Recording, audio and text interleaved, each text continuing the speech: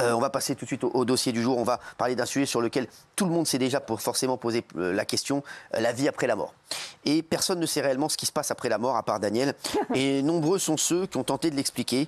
On va justement recevoir l'un d'entre eux, Stéphane Alix, ancien reporter de guerre, qui a récemment publié les résultats de 15 ans d'enquête sur l'après-vie. Il sera accompagné de Laura, qui a vécu une expérience de mort imminente, qu'elle raconte également dans un livre. regardez, ça, ça passionne tout le monde. Vous allez voir ce qu'il raconte. Euh, c'est fou. Hein. Euh, après, on est, on est rassuré en fait. Vous voyez ou pas Moi, je dirais que j'avais toujours peur pour vous, Daniel, Gilles et tout. Ben, maintenant, je me dis, c'est pas grave. Merci, Cyril. mais ça va faire du bien. ça va faire du bien. C'est important. Merci. Alors que la fête des défunts a lieu aujourd'hui, de nombreux Français se demandent s'il y a une vie après la mort. Une personne sur trois croit qu'il y a une vie après la mort. La mort, certains Français l'ont frôlé de près et affirment avoir vécu une expérience de mort imminente. D'un coup, je sens que je sors de mon corps. Journaliste, écrivain et réalisateur, Stéphane Alix affirme lui à travers le titre choc de son dernier ouvrage que la mort n'existe pas. La mort est un moment de métamorphose qui se caractérise par une continuité de notre conscience. Tandis que Laura, qui a vécu une expérience de mort imminente sera sur notre plateau. Stéphane Alix, qui a effectué de nombreuses recherches sur l'au-delà, nous dévoile ce soir dans TPMP le résultat de 15 ans d'enquête sur l'après-vie. C'est le livre du moment, La mort n'existe pas. C'est le best-seller du moment, disponible depuis le 4 octobre aux éditions HarperCollins. Euh, alors, euh, merci Stéphane Alix d'être là. Ça, ça passionne tout le monde. Je sais qu'il y a plein de gens qui me disent on attend cette séquence depuis le début de l'émission. Euh, vous vous présentez comme quelqu'un de plutôt cartésien. Et pourtant, après le décès de votre frère dans un accident de voiture en Afghanistan en 2001, vous décidez de vous intéresser au sujet de la vie après la mort. Euh, vous avez donc enquêté de façon scientifique sur le sujet et vous avez donc sorti euh, ce livre. Que s'est-il passé pour vous, pour vous après la mort de votre frère? Bah, comme la plupart des gens qui sont touchés par un deuil, c'est stupéfiant, c'est inattendu, ça, ouvre plein plein de questions. Mon frère est mort, il avait 30 ans, j'avais 32 ans à l'époque. Et, euh, et voilà, ça, ouvre tout un champ de questions qui sont des questions qu'on a peut-être dans l'adolescence, des grandes questions existentielles. Qu'est-ce qu'on fait là? Quel est le sens de la vie? Est-ce qu'il peut y avoir une vie après? Sauf que moi, j'étais ni euh, philosophe, ni euh, expert en théologie. J'avais envie de réponses de journalistes, des réponses euh, concrètes et scientifiques. Et vous en avez eu. Vous en avez eu. lors de vos études, vous avez rencontré des cas de mort imminente. Est-ce que vous pouvez nous donner des exemples? Parce que c'est vrai que ça, euh, ça passionne les gens et ça nous passionne et ça vraiment ça, nous intrigue. Est-ce que vous pouvez nous rappeler Il paraît qu'il y a l'histoire de l'homme et de son dentier. C'est quoi cette histoire? Bah ça, c'est un des cas de, témoignage qui a été rapporté dans une étude scientifique publiée dans une revue euh, qui s'appelle The Lancet. C'est un monsieur qui est arrivé aux urgences euh, dans le coma. Il était cyanosé, donc bleu. on a tenté de le ranimer. L'équipe s'est acharnée à essayer de le ranimer parce qu'il était assez jeune, donc il s'est dit on a peut-être une chance de le, de le ramener. Et l'infirmière qui a essayé de l'intuber a vu qu'il avait un dentier, donc elle a enlevé l'appareil dentaire, elle l'a intubé il a fallu une heure et demie avant de le ramener à la vie. Et une fois qu'il a été ramené à la vie, il a été emmené en salle de réveil. Et quand il s'est réveillé, il dit Mais où est mon dentier? Et euh, personne ne trouvait le dentier. Et puis, une semaine à peu près après son, son admission, l'infirmière qui l'avait intubé et qui était partie en congé est revenue à l'hôpital. Et quand il la voit arriver dans sa chambre, il dit ah, mais c'est elle, c'est elle qui sait où est mon dentier pendant que vous étiez en train de me ranimer, je vous ai vu enlever mon dentier, j'étais au plafond, je vous ai regardé, je vous ai vu le mettre sur un chariot de secours et je vous ai vu m'intuber et me sauver. Ah, donc il est... et, ah ouais. et des cas comme ça, bah, comme ce que pourra raconter Laura éventuellement, c'est des cas extrêmement fréquents. La partie de sortie hors du corps, la partie où la personne qui vit un arrêt cardiaque, un accident de voiture, un, accident sur un bloc opératoire, au lieu d'être inconsciente comme a priori elle devrait l'être, puisque son cerveau ne fonctionne plus ou, très mal, elle est au plafond en train de regarder ce qui se passe. elle, est, elle est dans quel état? Elle est entre la vie et la mort, c'est quoi? Bah, le cerveau, il est en cessation d'activité. Au bout d'un arrêt cardiaque, en 30, 10 secondes après un arrêt cardiaque, le cerveau, il stoppe d'être irrigué, donc il ne fonctionne plus. Il est en pause, il est en stand-by. Donc là, a priori, plus d'expérience de conscience possible. Et pourtant, 20% des personnes qu'on ramène à un arrêt cardiaque disent non seulement avoir été conscientes, mais extrêmement conscientes, avoir vu le tunnel, la lumière, c'est les, tous, les, tous les récits. Quoi les, les, récits? Parce que c'est vrai, le tunnel, la lumière, est-ce qu'on peut revenir là-dessus? C'est tous les mêmes, ils disent quoi? Bah, C'est une expérience de qui est difficile à décrire déjà pour les personnes qui, qui les ont vécues, parce qu'il y a comme une espèce d'intensité de vie que tu n'as pas au quotidien dans notre existence. Donc déjà, c'est compliqué. Qu'est-ce que ça veut dire une vie plus intense que notre réalité? Donc ils décrivent cette intensité, ils décrivent une lumière qui n'est pas éblouissante, qui, qui rayonne d'amour, ils décrivent la rencontre parfois avec des proches décédés ou avec des figures spirituelles, des êtres de lumière. C'est assez récurrent, il y a des, vraiment des constances, quel que soit le pays, quel que soit le... le, C'est quoi? Donc à un moment, ils voient un tunnel avec la lumière? Un tunnel avec la lumière, et il y a souvent un moment de non-retour, un moment où ils ont l'impression de pénétrer dans, dans cette, euh, ce qui ressemble pour eux à la mort, Et à un moment, il y a soit une phrase qu'il aurait dite, soit quelqu'un qui apparaît, qui dit non, c'est pas le moment, tu dois revenir. Et là, il y a un mouvement de recul, de, de retour vers le corps. Je me souviens d'un patient qui m'a dit j'ai l'impression de réintégrer mon corps comme quand on renfile une combinaison de plongée mouillée après l'avoir euh, extrait. C'est froid, c'est douloureux, c'est étriqué. Alors qu'ils étaient dans quelque chose d'une grande Ouais. félicité. Mais moi, pour le journaliste que je suis, il y a un élément de ces expériences qui pour moi est vérifiable et intéressant, c'est la partie où ils sont hors de leur corps et ils décrivent cette promenée dans le bloc où ils étaient opérés, par exemple, ou sur la scène de l'accident, ou parfois assez à, à distance. Ouais. Comment expliquer que des personnes qui sont dans un, un état comme ça, avec un cerveau qui fonctionne plus du tout ou très mal, puissent, dé- puissent décrire des choses qui se passent dans une pièce à côté, dans un bloc opératoire, et des, des cas comme ça, il n'y en a pas un, il n'y en a pas dix, il y en a des centaines de milliers. Incroyable. Alors, est-ce que vous pouvez nous raconter, euh, euh, pour les téléspectateurs qui nous rejoignent à 21h, euh, avec euh, vraiment La mort n'existe pas, le, le livre de Stéphane Alix, est-ce que vous pouvez nous raconter cette histoire du chirurgien qui fait la poule? Bah ça, c'est en- encore un autre cas qui est assez rigolo. Enfin, rigolo. Ouais. C'est un, un- patient qui a subi une opération à cœur ouvert et qui va voir un psychiatre qui est un, de mes amis que je connais bien, euh, à qui il explique avoir vécu pendant son opération une expérience de mort imminente classique. Il est sorti de son corps et il dit Mais d'ailleurs, il y a un truc qui m'a interloqué c'est que j'ai vu le chirurgien qui était en train d'opérer mon cœur. Et d'ailleurs, j'étais en train de voir où il était en train de travailler sur l'infarctus. J'ai vu mon chirurgien faire la poule. Et le, ch- le- le- le- le psychiatre dit Mais qu'est-ce que vous voulez dire? Bah, Il était comme ça et puis il battait des ailes comme s'il était une poule. Donc mon ami psychiatre est interloqué, il dit mais je connais ce chirurgien parce qu'il est dans le même hôpital, donc il va voir le chirurgien. Et le chirurgien est d'origine japonaise et déjà extrêmement surpris qu'on lui dise ça. Et dit bah effectivement, je fais pas la poule, mais euh, là où j'ai appris la chirurgie, pour éviter de contaminer les objets ou les, les ustensiles de chirurgie, j'ai l'habitude de poser mes mains sur mon poitrail et de désigner à mes assistants les objets à prendre, le bistouri, etc. Regarde. Donc le, le chi- le type, il avait la poitrine ouverte, le cœur dans la main du chirurgien qui était en train justement d'opérer son infarctus. Comment est-ce qu'on peut, on peut expliquer, en s'imaginant que le cerveau fabrique la conscience, parce que ça c'est la grande thèse que je démontre dans le livre, on vit comme s'il était une évidence que notre cerveau fabrique notre conscience, que notre cerveau fabrique qui nous sommes. Or, quand le cerveau ne fonctionne pas, 20% des gens ont une expérience de grande conscience. Une âme, C'est ça. c'est la preuve de l'âme, en fait, cette histoire. Alors, euh, selon vous, que se passe-t-il pendant que quelqu'un décède? Ben, on change. On- Il y a une forme de continuité. Il y a un, un maître spirituel tibétain qui m'avait donné cette image assez parlante. Il m'a dit, vous voyez, quand- qu'est-ce qui se passe quand vous dormez? Vous êtes dans votre lit, vous fermez les yeux, vous êtes conscient, et puis à un moment, vous perdez connaissance et vous vous réveillez, vous êtes en train de rêver, vous êtes dans votre rêve. Vous ne savez pas que vous rêvez, vous ne savez pas que vous êtes endormi, vous êtes dans une nouvelle réalité, celle du rêve.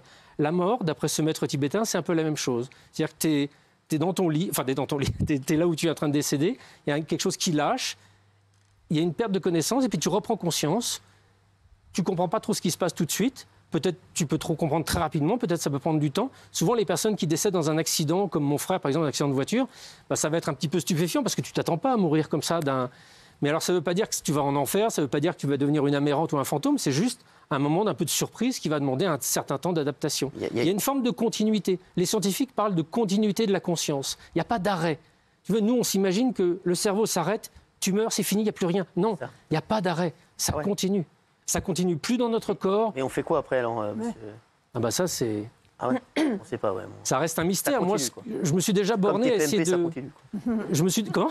Il y a un copyright, euh, il y a- c'est comme TPM. Non mais c'est vrai, c'est fou. Vous êtes déjà, comme vous m'avez dit, vous êtes déjà, vous vouliez me dire euh, quelque chose? Bah, Moi, je me suis déjà essayé de, de- de m'attaquer à, à- à vérifier que les preuves scientifiques attestant que la conscience survit à la mort du corps existent et sont suffisamment présentables et compilables. C'est ce que j'ai rassemblé dans ce bouquin. Après, qu'est-ce qui se passe après? Ça sera peut-être le tome 2. Oui. Ou l'émission de demain. Bah oui, avec plaisir. Euh, on, va, on va parler de, de plein de choses. C'est quoi le, le remote viewing utilisé par la CIA Bah ça, c'est une des techniques qui permet de montrer justement que notre cerveau euh, n'intervient pas dans certains euh, de nos capacités de perception. La- ça s'appelle la vision à distance et ça a été utilisé par les services de renseignement américains de l'armée et de la CIA pour espionner à distance. C'est les voyants, c'est les voyants. Le, le- le programme s'appelait le programme Stargate. Euh, il a été un-. Stargate. Stargate. Ah. D'accord, oui. Il a Donc- été euh, euh, évalué par le Congrès américain. Tout ça est officiel. hein. Toutes les sources sont dans le bouquin. C'est pas du tout des, des fantasmes qui sortent d'une série télévisée. C'est vraiment des choses qui ont été étudiées. Donc, il y a eu des centaines de missions. Par exemple, je connais bien un des, un des espions qui s'appelait Joe McMoneagle, enfin qui s'appelle toujours Joe McMoneagle, euh, à qui on demandait dans une pièce de sa base militaire aux États-Unis d'aller voir ce qui se passait dans un, un- un bunker bizarre au fin fond de la mer Baltique en Union soviétique. Il y va, comme s'il sortait de son corps. Il voit dans le, dans le bâtiment une énorme structure. Il revient en disant euh, J'ai l'impression que c'est en train de construire un sous-marin géant. Ses analystes lui disent non mais n'importe quoi, un sous-marin géant, ça peut pas, c'est pas possible. Refaites une mission. Il repart là-bas. Il décrit le sous-marin, il décrit la structure et il dit bah, d'ailleurs ce sous-marin, il va être mis en service dans quelques mois d'ailleurs. Tout le monde se fout de lui parce que là c'est vraiment trop énorme. Et puis c'est quatre mois après, les satellites américains qui survolent la zone en permanence voient un sous-marin géant apponter un autre sous-marin soviétique. C'est les, classes- les sous-marins de la classe Typhon qu'on a vu dans le film avec Sean Connery euh, à la poursuite d'Octobre Rouge. Bah voilà, ce voyant avait vu la mise en place de ce sous-marin quatre mois avant qu'il soit photographié par les Américains. Alors- Et des missions comme ça, il y en a des centaines. Et ça, ça veut dire quoi? Ça veut dire qu'on a en nous, mais toi aussi, tous, Moi aussi. on a une capacité Ouais. d'aller voir à l'extérieur de notre corps. Ah ouais. Ça peut être, on peut être formé à ça. Moi, je l'ai été.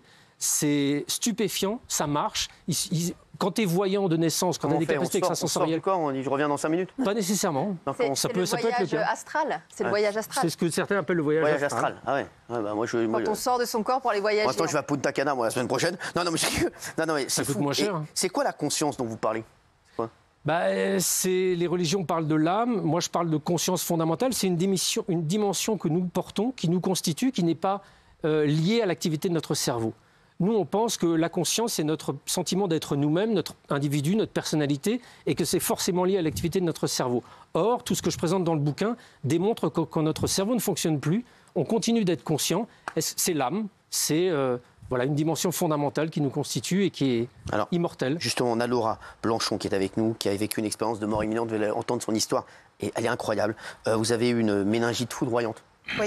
Euh, vous, êtes, vous êtes resté 10 jours dans le coma et vous êtes finalement miraculeusement revenu à la vie. Est-ce que vous pouvez nous raconter votre expérience de mort imminente Parce que les téléspectateurs, quand vous allez raconter, elle va vous raconter ça, c'est vrai que c'est- incroyable.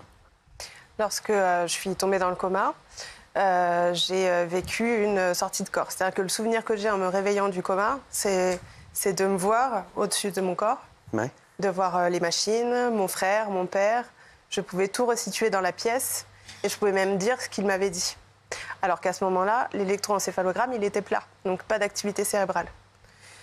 Ensuite, mon père me dit, et je l'entends, euh, je préfère que tu meurs plutôt que tu souffres. Et à ce moment-là, j'ai l'impression de m'envoler, de partir. Et j'arrive dans une atmosphère euh, bienveillante. euh, je me suis jamais sentie aussi bien que, que là-bas. Ah ouais Et ensuite, c'est des séries de rêves. Pendant le, quand je me réveille du coma, je, je raconte tous ces rêves et je fais des liens.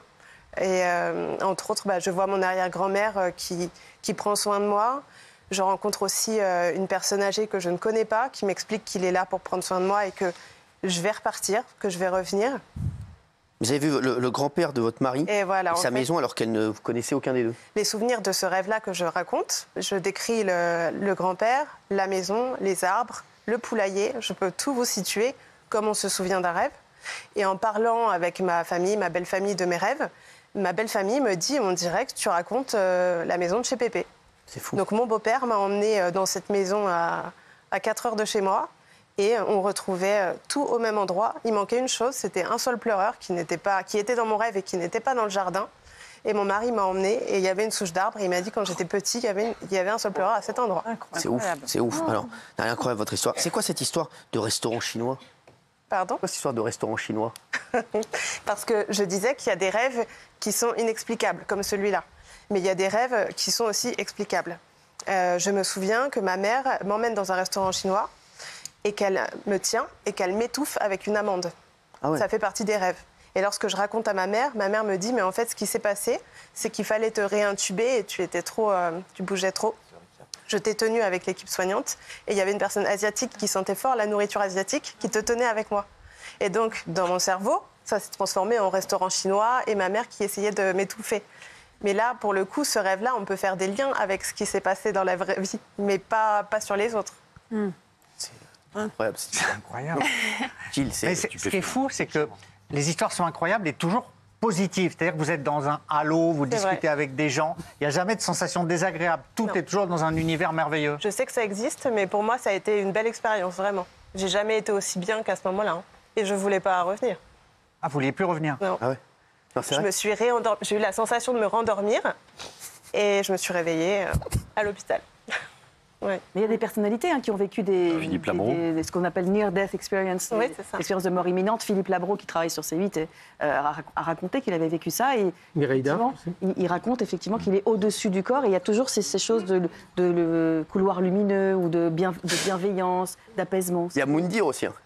Ah oui, Je vous ah oui. jure, Moundir m'a écrit en direct, il m'a dit que lui aussi, il avait vu, euh, Covid. il a vu, il a, non, mais il a vu une lumière. Je lui ai dit non, c'est juste c'était les phares de ma voiture. non mais, non, mais c'est vrai, il est con.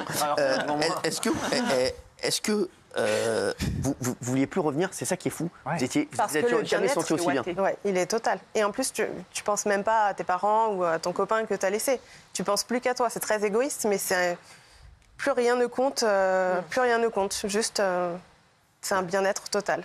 Alors, euh, juste Stéphane, euh, qu'avez-vous Qu'est-ce qu'est-ce qu'on peut découvrir après la mort?